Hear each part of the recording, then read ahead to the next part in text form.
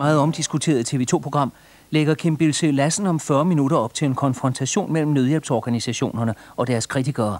Er enhver kritik af organisationerne utilstedelig, fordi den risikerer at ramme dem, der har hjælp behov? Er nødhjælp en hellig ko? Konfrontation 2240. Bagefter en engelsk film om ung og forbudt kærlighed. Her nyhederne.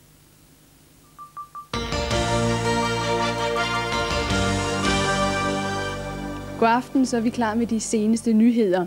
Dramatisk udvikling i Tvindsagen. Et centralt afsnit af særloven var røget ud af lovteksten, da skolernes sag skulle afgøres.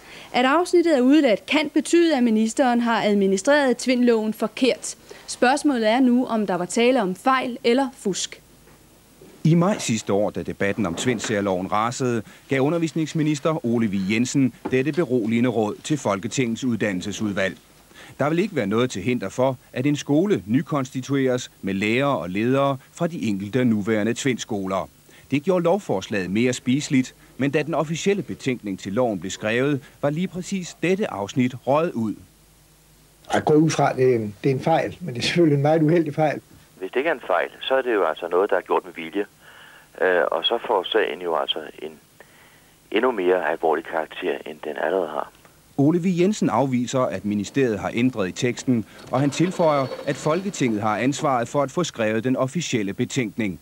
Men det forsvundne afsnit er vigtigt. Det betyder nemlig, at undervisningsministeriet kan have administreret tvindloven forkert. I mandag sagde Ole V. Jensen til Berlingske Tidene, at det var tvindforstanderne og det forhold, at de fortsatte på de nye skoler, som gjorde, at de mistede deres statstilskud. Ministeren kaldte det et vigtigt og væsentligt element i den samlede godkendelse. Men det er i direkte modstrid med ministerens nu bortkommende svar. Det afgørende, det er jo, at det han sagde dengang, det var det, han mente dengang. Og det han nu har besluttet, mener jeg, er i modstrid med det, han sagde dengang. Hvordan kan det i sig selv være belastende, at tvindforstanderne fortsætter på de nye skoler? Det kan det da i den udstrækning, hvor de giver indtryk af, at nu lever de op til lovgivning, og så gør de det ikke. Det er da meget belastende. Men er det ikke i modstrid med det svar, du oprindeligt gav? Nej, det er det ikke, fordi øh, hvis de i øvrigt gjorde sig frie, uafhængige og selvstændige øh, ledere af de nye skoler, øh, så vil der ikke være det problem. Men det er jo det, der netop er problemet, sammen med de andre ting, der i øvrigt spiller ind. Og Fransen vil nu have Folketingets formand Erling Olsen til at undersøge sagen. Politiets hunde skal fremover holdes i kort snor. Nye stramme regler er på vej, men de bliver ikke modtaget med begejstring hos politiet. Vi har været med en hundepatrulje på arbejde her til aften.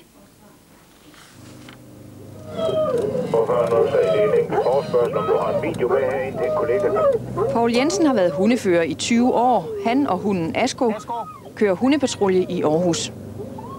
Altså, vi har jo nok... Nej, vi har det aller spændendste job overhovedet inden for politiet. En time senere er der bud efter hundepatruljen. Et værtshusslagsmål i Nørregade. Jeg har fået en øh, ask med i baghovedet. Færdig. Ja. Nej. Vores arbejdsopgaver, de er, de er så frie, og vi har så mange forskellige øh, typer opgaver. Men nu bliver Paul Jensens arbejde underlagt skrappere regler. Justitsministeriet vil indføre regler, der blandt andet slår fast, at hundene kun må bruges over for folk, der nægter at gøre, som politiet siger, og at hundene straks skal trækkes tilbage, når politiets anvisninger er efterkommet. Politiledelsen skal godkende det, hvis hundene sættes ind over for større grupper mennesker, og der er også regler for, hvor lang hundens snor må være. Hvis du kommer ind på et, øh, et værtshus, hvor det hele det måske vælter rundt omkring ørerne på dig, øh, så er det svært at stå og forholde sig til, til øh, et regelsæt, at man skal det ene og det andet den slags ting. Det er politiets sammenstød med blokadevagter under Ribus-konflikten, og politiets indgriben over for en gruppe unge dækafbrændere i Vestjylland, der har fået Justitsministeriet til at presse de nye regler igennem. Rebus har jeg været nede og selv deltaget i, og de situationer, jeg kender dernede fra i hvert fald, der mener jeg ikke, der er noget som helst at kritisere politiets indsats i det. Absolut ikke. Hvordan kan det så være, der har været sådan en kritik bagefter? Jamen det er jo de mennesker, som ikke får ret. De forsøger så at få ret ved at, at kritisere politiets. Altså nogen skal det jo gå ud over. De nye regler skal nu til høring blandt andet hos Politimesterforeningen. Det er stadig ikke naturligt at gå til skolepsykolog. Selvom hver tredje skoledreng faktisk bliver sendt til psykolog, så er det tit et tabu for familien. Familien Gårdsmand har seks børn. De fem er drenge. for et par år siden var der så store problemer med den ene af drengene, at han kom til skolepsykolog. Jeg kunne godt være lidt grov over for de andre, vil jeg sige. Slog dem lidt sådan en gang imellem. Hvorfor gjorde du egentlig det? Ja, det, jeg blev lidt provokeret en gang imellem, så handlede jeg lidt hårdt over for det. Langede du dem en? Ja, det kunne jeg godt finde på. Han øh, bliver aggressiv. Og det tror jeg, det, det er meget det, der sker med drengene. Altså, de reagerer på deres omgivelser, på det samfund, de lever i. I dag kommer hver tredje dreng på et eller andet tidspunkt i kontakt med en skolepsykolog. Men det kan være svært for en familie at tage beslutningen om at gå så vidt. Du er langt ude, før du henvender dig til skolepsykologen. Du har det rigtig dårligt. Men altså, det har man jo i og med, at skolen henvender sig, at ens dreng har slået lidt for hårdt til nogle kammerater. Regin gik til samtaler hos psykologen i et halvt år, og for ham var det en positiv oplevelse.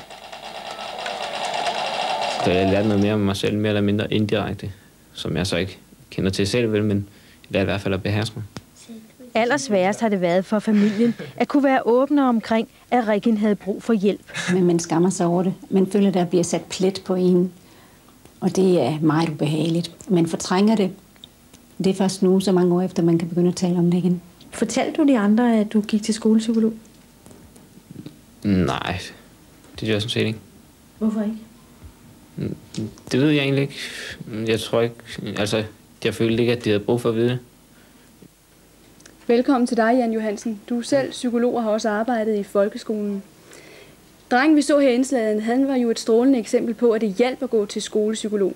Men er det efter din mening nødvendigt at sende hver tredje skoledreng til psykolog? Nej, det mener jeg ikke, det. Hvorfor sker det så?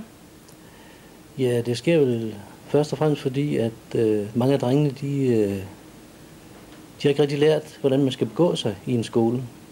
Hvorfor har de ikke lært det? Det har de ikke lært, fordi de mangler nogle af de der almindelige sociale færdigheder, som man skal have for at kunne gå i en skole. Hvad mangler de for eksempel? Ja, de mangler fornemmelsen for ansvar for hinanden og respekt for voksne og sådan nogle ting. Hvem skulle have lært dem det? Ja, det skulle øh, deres forældre og de pædagoger, som har haft dem i daginstitutionen, selvfølgelig har gjort. Men når de nu så ikke har lært det, er det så ikke øh, fornuftigt, at folkeskolelærerne siger, at det må vi gøre noget ved, og så sender dem til skolepsykolog? Jo, det er, det er selvfølgelig meget fornuftigt. Men man kan jo lige så godt øh, tage det ind i folkeskolen som en del af problemet, og så hjælpe øh, børnene gennem undervisningen. Hvordan skulle man gøre det konkret? Ja, det, man kunne jo suspendere øh, nogle af timerne i en periode, og så lade forsøg med at, at, at lære børnene at omgås hinanden og være sociale væsener og, og knap så aggressiv, som vi sagde, drengene øh, var her. Har du nogle eksempler på, at det faktisk har virket, at man har suspenderet undervisning, og i stedet for at have sat opførsel på, på skemaet? Jeg har selv været i en, øh, en skole i Skagen, på Angermed skole, hvor man kører et projekt, der hedder Ansvarlighed øh, i skolen, hvor man netop øh, arbejder med øh, regler for, hvordan man skal omgås hinanden, øh, og lære børn noget om ansvarlighed for hinanden, og ansvarlighed over for skolen, og noget med at være sociale væsener og ordentlige mennesker. Men det er jo også vigtigt, at børnene lærer noget, når de kommer i skole. Altså, der er vel nogle børn, hvor man må sige, der er det nødvendigt, at de kommer til skolepsykolog. Det er rigtigt. Det er der mange øh, børn, der har brug for. Men problemstillingen var her specielt drengene. Og mit indtryk er, at, at, at dem ville man kunne hjælpe meget bedre ved at, at gøre det i fællesskab. Og det er altså unødvendigt efter din mening, at hver tredje dreng sættes til skolepsykolog? Ja. Tak skal du have. Og så er der kort nyt herhjemmefra. Kaos i påsketrafikken, få 100 meter syd for den dansk-tyske grænse, skabte en alvorlig trafikulykke store problemer. Klokken halv to i eftermiddag kørte en tysk tankvogn med fuld fart op i en 300 meter lang bilkø. En dansk lastbil blev skubbet op i et holdende vogntog. I den danske lastbil var en 11-årig dreng, der blev dræbt ved ulykken. Drengens 42-årige far slap med lettere kvæstelser, men måtte indlægges på Flensborg sygehus med chok. Oprydningsarbejdet, der har givet store forsinkelser, blev først færdigt her til aften. I går var der politisk flertal for at fjerne administrationen af tipsmidlerne fra Dansk Ungdomsfællesråd. Men i dag sprang både de konservative og venstre fra, og lettelsen var stor hos Dansk Ungdomsfællesråd. Der kommer nogle ændringer i retningslinjerne. Lad os nu lige se det øh, først, inden at vi gør noget. Det synes jeg er meget, meget fornuftigt.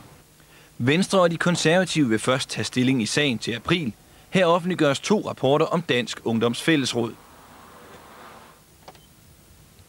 Efter en lang nats forhandlinger blev parterne på transportområdet enige om et forlig.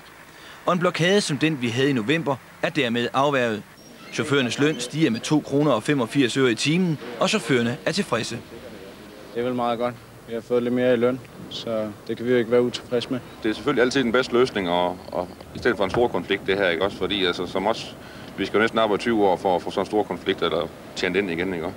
Så helt sikkert den bedste løsning, det er det, fordi de er nået frem til nu. Og alt tyder på, at overenskomsterne på de øvrige transportområder også falder på plads. Og så skal vi til udlandet. I USA er dødstraf og behandlingen af de hårdest belastede fanger igen til debat. Henrettelsen af en dødsfange i Florida og nye særdeles effektive elbælter har sat sindene i ko. Henrettelsen af denne fange, 39-årige Pedro Meridian i Floridas elektriske stol i går, forarvede store dele af USA. Medina's fingers clenched tight, but then suddenly a flame grew from the top right side of his covered head. It burned for six to ten seconds, and the death chamber filled with a rancid smoke. Something did indeed go wrong, and, and we will we will be looking immediately to find out exactly what it was that took place, and to and to make sure we're able to do what we need to do in order to prevent that from happening again. Floridas elektriske stol er 73 år gammel, men også andre stater har haft problemer. Mindst seks henrettelser er gået galt de sidste 13 år.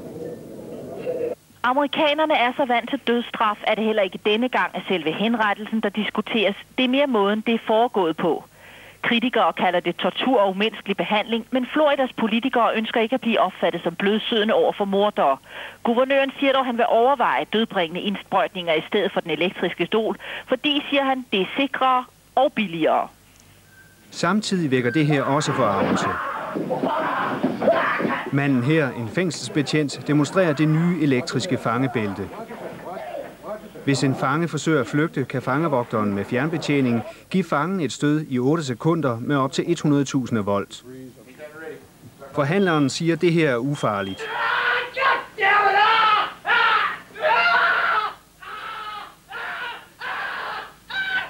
Men Amnesty International tror ikke på, at det er ufarligt, ligesom Amnesty mener, at det vil blive brugt som tortur. Det elektriske bælte er i brug i 18 af USA's stater. I Italien afslørede politiet i dag, at det ikke kun er italienerne selv, der er organiseret i landets mafia-organisationer. Også den russiske mafia har opereret i Italien i flere år. Våbnene her fandt politiet i en lejlighed i Rom. I lejligheden boede en russer, som blev dræbt i Grækenland i sidste måned. Visori notturni, puntatori, moltissime munizioni, attrezzatura per eh, caricare le, le, le munizioni, le cartucce, per l'omicidio di alcuni poliziotti, sicuramente in Italia e probabilmente anche in altri paesi. Politiet fandt våbnene i forbindelse med efterforskningen af en russisk mafiagruppe, som politiet mener har arbejdet i landet gennem flere år. sportivi e eh, questo era noto per essere pressoché imbattibile nelle palestre che, che frequentava e questo fa parte delle sue cronache, delle cronache della sua vita, della leggenda che lo circondava. Politiet oplyser, at den russiske mafia har investeret flercifrede millionbeløb i den italienske underverden. Under efterforskningen har politiet arresteret 15 medlemmer af organisationen. Det er åbenbart lettere at optrævle de russiske mafiabander end de italienske. For mange er påskeferien allerede i gang, for andre starter den først i morgen. Her er en idé til et eksotisk rejsemål, ikke så langt herfra. Krødder dufte, børn der leger og mænd der spiller. Det ligner måske en turistfilm for en af påsken mange rejser. Men vi er i Brabrand, vest for Aarhus. Byggefirmaet Olav de Linde har ombygget to gamle fabrikshaller. For ca. 3.000 kroner om måneden kan alle lege en lille butik. Udover den hyggelige stemning og de eksotiske varer, har bazaren også andre værdier.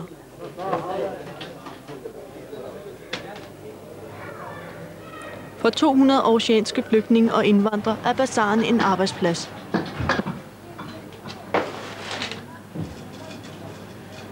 Vi har noget at lave hele tiden. Hele familien. Vi har travlt hele tiden. Jeg kan tjene penge, først og fremmest. Og øh, har det godt med mig selv også. og ikke gå til forforening eller alle de der arbejdsløskasser. Det er Bazaren er netop åbnet, og allerede nu er den en succes. Ud af 180 butikker er 163 udlejet. Dermed er Bazaren Skandinaviens største. I forbindelse med Bazaren har Aarhus Kommune opført værksteder og kursuslokaler til de fremmede. Fordi det passer meget godt ind i første generations familiernes øh, livsrytme. De er vant til at hjælpe hinanden, at familien øh, øh, hjælper sammen om én virksomhed, og det kan de gøre her også. Og, og så vil den næste generation, som jo får mere skolegang, de vil bedre kunne klare sig med sådan en almindelig job, som de andre har. Bazaren har åbent hver dag fra 10 til 18, og med det tip til påskeferien slutter vi for i aften. Nu er der nyt for regionerne, og bagefter kommer sporten. Ha' en god aften.